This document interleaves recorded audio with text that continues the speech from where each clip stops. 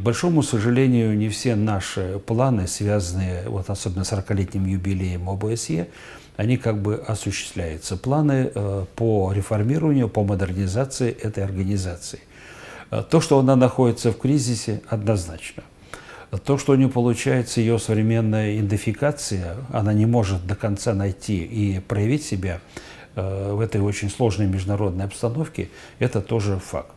Но с другой стороны, ОБСЕ как общеевропейская организация показала, что она могу, может Э, делать предложения, может делать конкретные шаги. В частности, нельзя не отметить роль ОБСЕ э, в рамках урегулирования э, конфликта внутри Украины. Нельзя не сказать, что ОБСЕ очень многое делает в плане постановки и контроля за стандартами международного гуманитарного права. Когда я говорю о том, что это организация, которая находится в кризисе, э, примеров, подтверждающих эту мысль, очень много.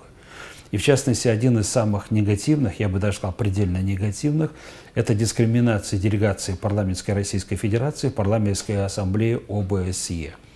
Э, на моей памяти в истории современной дипломатии, современных международных отношений э, не так много встретишь вот подобного рода неуклюжих, противозаконных, просто неприличных и аморальных страниц международной организации, э, шаги, которые она сделала в отношении равноправного полноценного члена под названием Российская Федерация. Это вызывает глубокую такую удрученность. Будет ли у этой организации перспективы? Я думаю, что вот тот позитив, который существует, который накоплен к сегодняшнему дню, его надо брать на вооружение и развивать.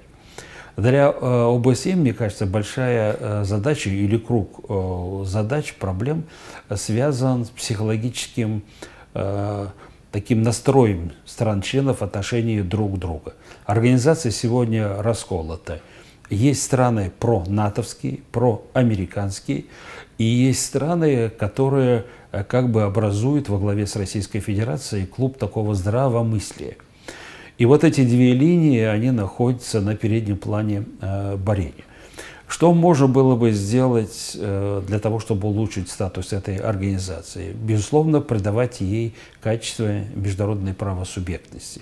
Ни американцы, ни англичане, ни страны Европейского Союза и особенно натовцы этого не хотят потому что они э, понимают, что такого рода статус ОБСЕ э, будет э, препятствовать, во многом будет препятствовать реализации их планов на общеевропейское, на мировое господство.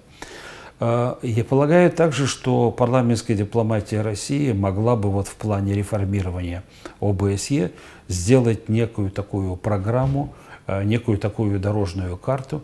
И я думаю, что если эта задача будет поставлена в соглашении, в согласии с Министерством иностранных дел, э, наша фракция может сыграть очень активную интеллектуальную, политико-волевую и организационную э, роль.